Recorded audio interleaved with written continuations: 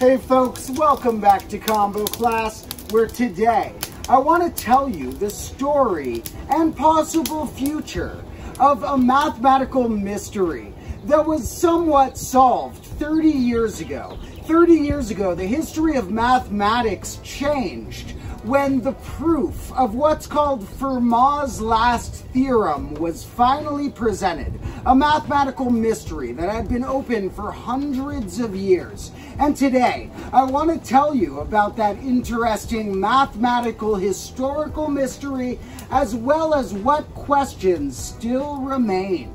Fermat's last theorem regards this equation a to the power of n plus b to the n equals c to the n. And when this might be possible, with a, b, c, and this n all being whole numbers.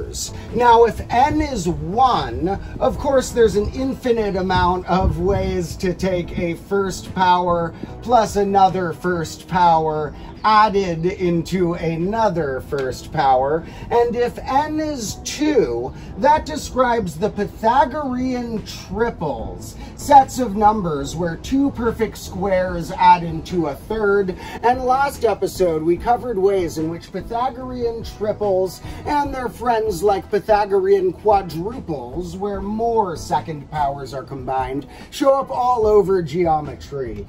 But today, we're going to wonder about powers higher than one or two. Like you can add two square numbers to equal a third other square number, but can you add two cubes to equal another cube? Or what about two fourth powers into another fourth power, or two fifth powers into another fifth power? Mathematicians looked for solutions to this, where these were all whole numbers, but n was greater than 2 for many years and couldn't find one, but also were unable to prove whether one was possible. And that brings us to the story of a cryptic margin note that the mathematician Fermat once left about that question.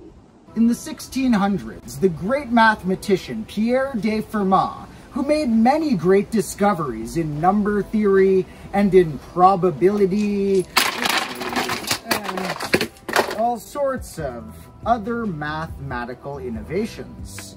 After Fermat died, his son found that in one of his math books, he had written a note in the margin. This note said that it was impossible to have two cubes add to another cube, two fourth powers add to another fourth power, or any whole number solutions to that a to the n plus b to the n equals c to the n when the exponent was larger than 2. And then he wrote, in the closest translation to modern English, I have a truly marvelous demonstration of that proposition, which this margin is too narrow to contain. And that was the end of the note. And he had died, presumably not long after writing this, and nobody knew what the proof he may have had was. For the next few hundred years, many mathematicians worked on this problem, seeing if they could find some magical proof that Fermat might have found back in the day. And because this is one of the simpler to describe open questions in mathematics, and because Fermat had claimed to have some magical proof for it, some historians believe that Fermat's last theorem is the mathematical question that has had the most number of incorrect proofs submitted to institutions. Thousands of incorrect proofs. Other mathematicians did make great progress on Fermat's last theorem over the years, for example, proving specific cases, like that cubes can't do it, but they were unable to prove the general case for all exponents higher than 2. But math is quite interconnected, and sometimes proving something else that you thought was unrelated might help you prove your original question.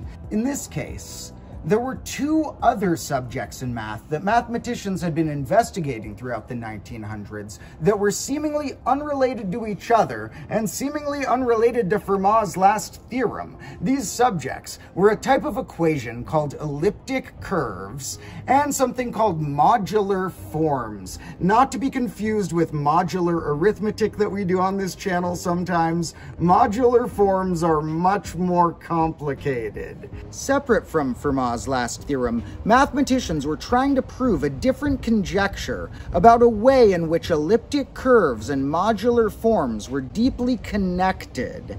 And they realized that Fermat's last theorem was connected as well mathematicians managed to prove that if there was a counterexample to Fermat's last theorem, an example where some powers higher than 2 did manage to add up in that way, that it would also imply that there must be a counterexample to that other conjecture, which means that if the other conjecture was proven to be completely true and not have any counterexamples, there couldn't have been a counterexample to Fermat's last theorem either, meaning that if this other conjecture was proven, it would prove Fermat's last theorem along with it. And then a mathematician named Andrew Wiles, who had been obsessed with this question of Fermat's last theorem as a child, thought that maybe he'd be able to put together all the pieces, and he dedicated about six or seven years, secretly dedicating hours a day to try and prove Fermat's last theorem. And in 1993, Andrew Wiles made a presentation showing the mathematical world that he had solved this conjecture about elliptic curves and modular forms, and that along with it, Fermat's last theorem had been proven. And oh boy, did it take a lot of long, complicated steps to prove this thing. The proof is over 100 pages, and it did need a few adjustments of things that Andrew Wiles hadn't fully gotten fine-tuned that other mathematicians and himself fixed over the next year or two. By 1995, a fully fixed and polished version, still more than 100 pages, of this proof was released, and the mathematical world agreed Fermat's last theorem had been solved. The thing is, although it's now been proven that Fermat was correct about his conjecture, it's unknown exactly what type of proof he thought he had.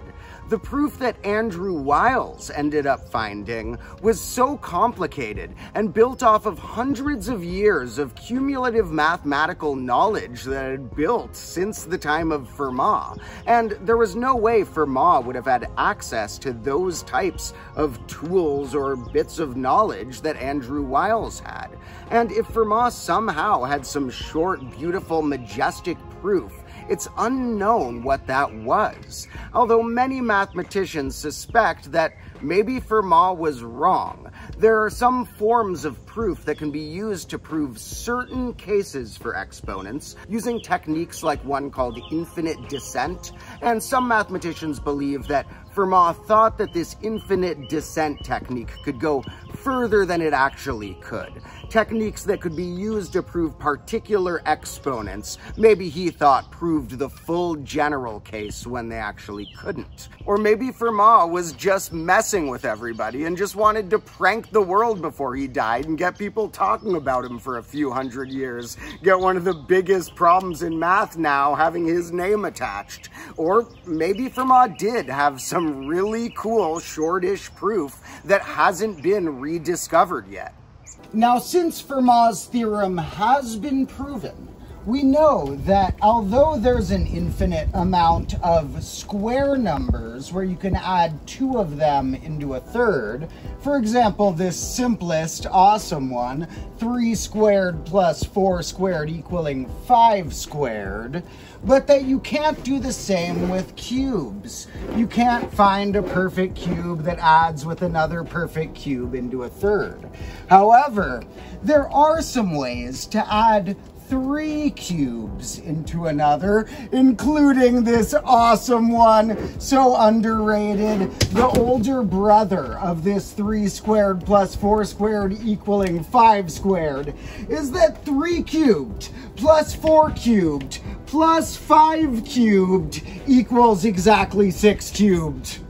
And apart from that, there are other examples of three cubes adding into another cube. You might also find examples of things like four fourth powers adding into another fourth power. This may make some people wonder, if we're adding numbers of the same power into another of that power, is it going to take at least the amount of numbers as that power, like at least two square numbers to equal another, at least three cubes added together to equal another, at least four fourth powers added to equal another fourth power, and so on.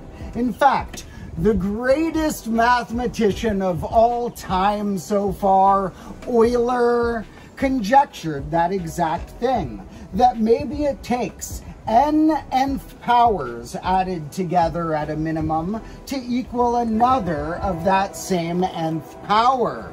However, even the greatest mathematicians get some conjectures wrong sometimes, and that was proven false in one of the shortest papers of all time. A paper that was just one or two sentences showing a counterexample of just four fifth powers adding up to another fifth power. So it does take at least three third powers to add to another but there are ways to add only three fourth powers into another, and only four fifth powers into another. Although, interestingly, the smallest amount of sixth powers that have been discovered that can add into another requires seven of them. So it's still unknown the exact amount of a given power it can take to add to another of that same power.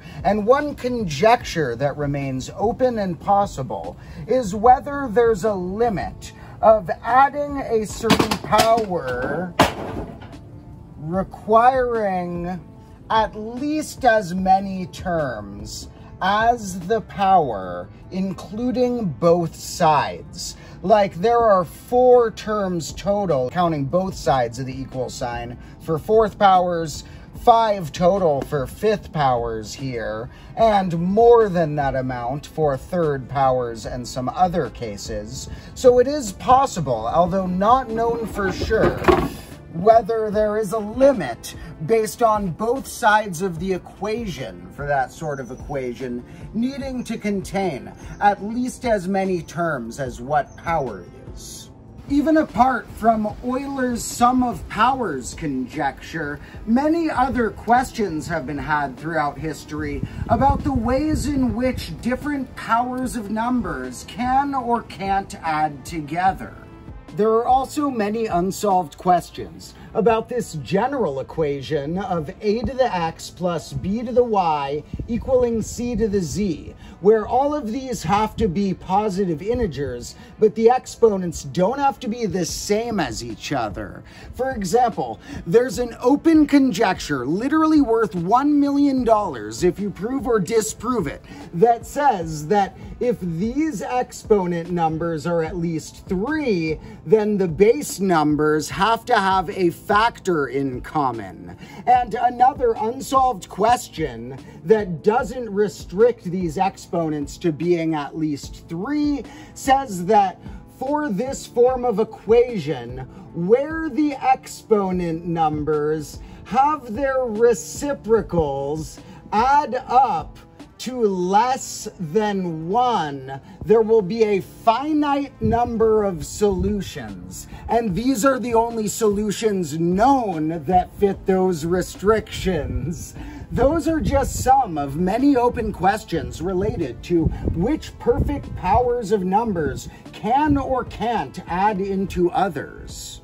And that's all for today. Thank you for joining me here in combo class to learn about... Carlo, let's get these things out.